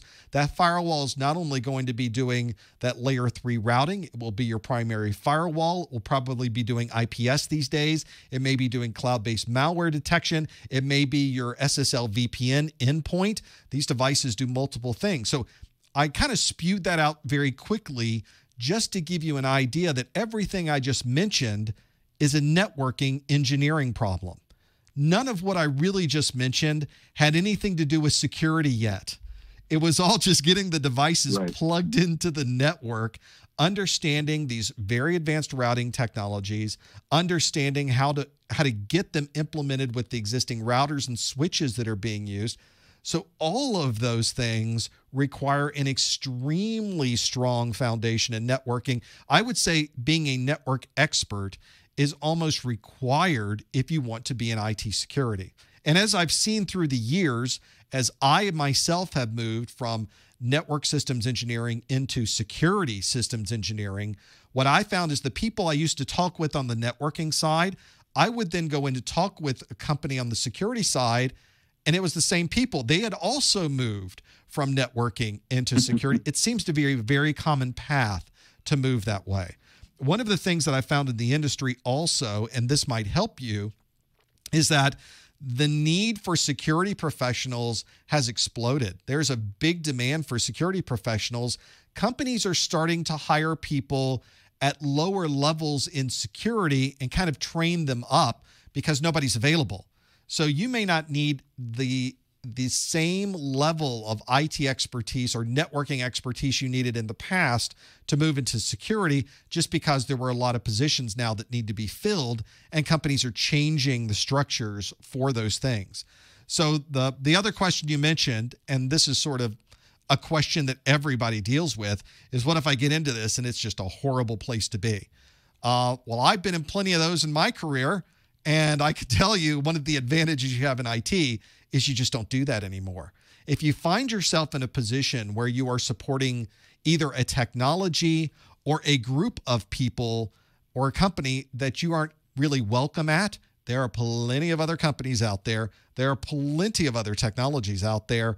And you will be so skilled in what you are doing that you will find that it's actually relatively easy to make a move in IT, which is something that if you worked in any other part of uh, of a, a type of career. If you were in transportation, if you were in medicine, if you were in manufacturing, you would not have the same flexibility. IT gives you an amazing amount of flexibility. Don't be worried that you're ever going to find yourself in a bad place because you might. In my career, I have found myself in some pretty bad situations. Sometimes you get into a company, there's a management in place, things are great, then the company sells to someone else. They fire all the managers. They bring new managers in. That's normal, by the way. The constant change mm-hmm. in this industry. But it turns out they're different people. They have a different philosophy on how to run things. Doesn't match with your philosophy. So you leave and you go to the next thing. The, for, the fortunate thing for us and the skills that we have in IT is we can do that. We are never locked in anywhere. If they fire you, if you leave, if something changes in your career, it's never the end of the world. It's the beginning of the next thing. Uh, it'll be it'll be sad for a day. Oh, that was such a great job back in the day. Yeah, I'm going to go do this now. Oh, and they gave me a raise. And now I do what the next thing is going to be. In my career, I probably had total from the time I really got out of college to the time I started doing this full time. I probably had 15 different positions. We counted them on an earlier study group back in the day. And I had 15 different jobs. Sometimes those jobs were different jobs within the same company where I moved from position to position. Sometimes those jobs I moved from place to place. So I've worked for value added resellers. I worked for an insurance company. I worked for a uh, a network analyzer company, and that was bought by another company. And I had probably five jobs within that same company. I worked for a call center outsourcing company. I went back to the protocol analysis company. I then moved to a security company. So, worked for what is that, six or seven different entities, and within that had different jobs within them. It's a beautiful place to be. Do never, never worry in this industry that you will ever be in a position where it just isn't working out and things you've made the horrible decision because you haven't. You just go do the next thing and you're good to go. All right. Thank you so much. That is extremely helpful. Best of luck, Brett. You're going to do fine. All right. Thank you. This is this is one of the things I I I'm fortunate enough that I've been through the sort of the I've been through some of the worst types of situations with acquisitions and changes and being thrown out on your ear and uh, and through through just various comings and goings in this industry. I was around in these technology industries during the internet boom, and it was just ridiculous. Um, there was so much change, and you got to a point though, and if you can sort of grab this and and stick it on you somewhere, which is, yeah, change is going to happen. It's going to have, sometimes it's a great change. Sometimes it's not a great change. It doesn't matter. Just roll with it. Sometimes you can make the best of it. Sometimes you have to leave and go somewhere else, and that's okay. That's just fine. That's probably normal these days for what we do. Uh, you should always do what's going to be the best thing for you. You should always do what's going to be the best thing for your family. Uh, you're and in there's so much opportunity here that you never are, are ever feeling that you're in a position where you're taking advantage of someone else or that you are missing out on something because there's so many different things you can be doing. That's why I often tell people find the thing you're really interested in, go do that. Because if you someday kind of get tired of that, you'll go find something else you're interested in. And that's kind of my in my positions. I started off in really on the workstation, the operating system, move to the network server, move to the network, move to security. It was kind of a, a common common path, I think, of where you would go. Uh, and that's true. Like uh, Web Sandy says in the chat room, as soon as you think you know everything, everything changes. And that's I think that's the great thing about IT is that you can become an expert in a thing, and that is extremely valuable but make sure you keep becoming the experts in the thing. Uh, now there's virtualization, there's containerization, there's a whole set of cloud based technologies that people, all of us, are now trying to learn. So that's another advantage you have is you can't go back and find the person who has been in this industry 20 years and think that they have a leg up because they're just learning it too. It's one of the challenges we have with this is you got to keep up with everything. Uh, and I love it. I think that's a great thing. You never are ever knowledgeable in everything. You will never know everything. In fact, you should always be uncomfortable. If you're in an IT position and you find out, oh, this is so boring, I know everything I need to know for this job, you're in the wrong job. You should have already moved somewhere else by then. So update your resume, get it out there, go to the next thing. It's going to be great. You're going to love it. Let's go the next caller for 212. Hello, caller. Which name are you calling from? Hey, uh, this is Freddie. Hey, Freddie. What can we do for you? Hey. So, um, I passed the um, the security class. Nice, congratulations. I have zero knowledge. I have zero knowledge in IT. Yep. so I'm stuck with this uh, certification, and I don't know what to do next.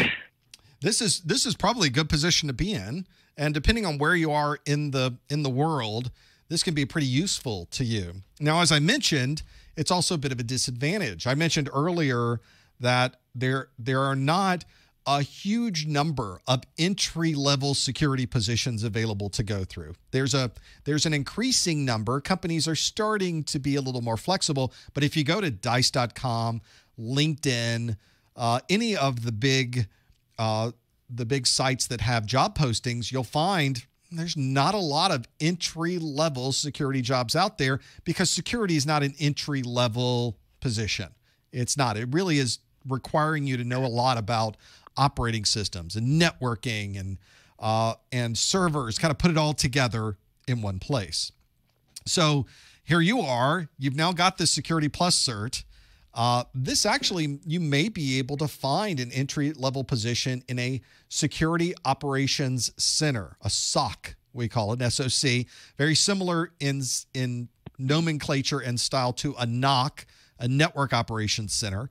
Uh, but there are operation centers that do nothing but security focus. Or you may be able to find an entry level position for companies doing technical support for a security product. That's a great place to start learning about these technologies and how they would fit. So it's not that it's worthless, it's just that now you have to figure out how do you use this to its best benefit. And you may have to add something to it. You may find that companies are really looking for someone that has a network plus or has an A plus or has Microsoft certification or has Cisco certification along with the security plus. Every company is going to be different, every job posting is going to be different. So you're going to have to kind of see how that works. In your particular scenario where you are you're in a situation where there is a company that they they are you've now got a certification and now what do you do with this? How is that going to work to have this and have this available in this situation? You really should probably look at the job postings in your area and see what makes sense for you. I think that is going to help you probably the most as you start going through what you're going to do next with these things. All righty. Thank you so much. And um, also, thank you so much because I passed with all your materials. Fantastic. And I just used, yeah, I just used for like a month and a half. Thank you. best of best of luck. I think you're going to do fine. I appreciate the call. That's always a good position to be in, though, isn't it? That you're you've got this you've got the certification. It is a certification that is is well uh, people really want that. It's well in demand. Uh, you should absolutely uh, do this um, and and really go through the process of getting the cert. But there should be an end game with this as well. And maybe that's a good thing that all of us can do, is to probably look at where we are going with this. It doesn't help to have the cert and not have somewhere to go with this. Before you take the certification, you should probably have an idea what this is going to do for you. Uh, the certification is not your end game. The certification is the the the thing that gets you down the path. So try to think about it that way as well. I think that might help for those of you that are in the process of wondering, do I even take the security plus? Do I not take the security plus? What are you trying to do? You know, that's really what the important part is, is trying to get it to to really do that. Uh, hopefully, that's something that can can help you as well with all of these. Let's go back to the calls, bring up some of these. Oh, we, are doing fine with the calls. I'm going to let the calls queue up there as we go. Let's go back to the chat room for all of these. So this is one. Well, you need a question. I was talking specifically about um, about the SOC, the Security Operations Center. Well, you need a certification for an entry level job in the SOC. IT is a little different with its certifications than a lot of people are uh, in, in a lot of those environments. One of the things you'll find, for example, um, is that if you were uh, getting, if you were in nursing and you went and got your nursing certification, you have to have that certification to actually go into a hospital and be a nurse. IT doesn't work that way. An IT certification is something that tells people that you did something that gives you some knowledge. It's a badge that you could put on that says, hey, I know the minimum requirement to pass the certification exam. And by the way, for Security Plus, that's a pretty good badge. You have a very good knowledge of these security technologies. But a lot of companies, some companies want you to have that badge, some companies don't care. In fact, some companies have the philosophy of if you don't have a Security Plus, I can pay you less and then I'll train you as we go which is not a bad philosophy. It actually is a pretty good idea for the people that don't have Security Plus. Other companies don't have time for that. They don't have time to train you on these basics of security. They want you to walk into the building already knowing what an IPS is, what these different types of authentication factors are, and how these sort of how the basics of cryptography work. And in those cases, they're willing to pay if you already have the Security Plus certification. So go through and see what people are asking for before you even get to the point of taking these certification exams. And I think that will help you too as you go through and figuring out do do I need to get this to get the job? It depends. Find out what that that uh, that employer is looking for. That's why I often tell people you should already know this before you walk in the door, and you should already know some people who are there before you walk in the door. Uh, go to some of the the ISSC, ISSA. There's a security user group you may want to go to. Go to a Palo Alto Networks user group. Go to a Checkpoint user group. Uh, go to a VMware user group, a Microsoft user group, a Cisco user group. Meet those people because every single one of the people in those user groups works for an organization that is local in your area. And every single one of those organizations has open positions has security professionals, has networking teams, has a help desk. Knowing those people can be the difference when you walk in the door. Plus, you get to talk to them and say, "Oh, you work at company A. Uh, I'm I'm interested in uh, some of the things you're doing there. I'd love to put in a job posting with you. What are the things that you're looking for in your help desk? What are the things your security operations center needs? Uh, do they like people to have a security plus? Do they not? Do you know who I should talk to? Who should, can I give you my resume? Uh, and that's one of the things you may want to do as well. A lot of people don't even realize this. I mention this from time to time. In most companies, they will ask you as an employee to please give resumes from people you know. In fact, there is usually some type of finder's fee so that if you give a resume to HR and HR ends up hiring that person, you get money for it. And you'll find if you go out to LinkedIn, a lot of people say, Yes, give me your resume. They're almost they, they will pool people's resumes. They'll just get them in a big pile and send them off to HR, hoping that one of those people will be hired. So very often the people you meet at these user group meetings are happy to take your resume because they now know you from the user group. They can pass that off to HR. If you get hired, you'll get a job and that person will get a few hundred bucks and everybody's happy. So there's there's actually a financial incentive for people to get to know you. So make sure that everybody can be happy. Make sure that you're able to be available to those folks so they can put in those types of job positions. Uh, becomes really useful to have that too. I think uh, you, you often almost forget that that capability, that function is there. These companies have that. Uh, it's one of those things that uh, that can really help you and help someone else at the same time. So take advantage of those things. They're absolutely there and available to work with. Well, we've got we've gone through an hour of Q&A. We've gone through an hour of you asking me questions, almost an hour of you asking me questions, but I think since my my voice is on its way out, that's probably my warning sign to close things out for the month. Thank you for being here. We had a great first hour, I think of the questions. We, we love doing those. Thank you for your calls and your questions in the chat room as well. This is one of those times where I, am able at least connect out and, and see how things are going out there in the world. And I thank you for, for being here on the live stream. I thank you for watching the replays. Thank you for your support of the website. We could not do this without you. Uh, stick around or, or come back in a month. We have our next Security Plus study group. And of course, if you're someone who's working on your A Plus and your Network Plus, I do study groups for those at the beginning of October as well. We'd love to have you come back for those and see you on the live stream as well. Thank you for being here. We'll see you next time on the Security Plus Study Group.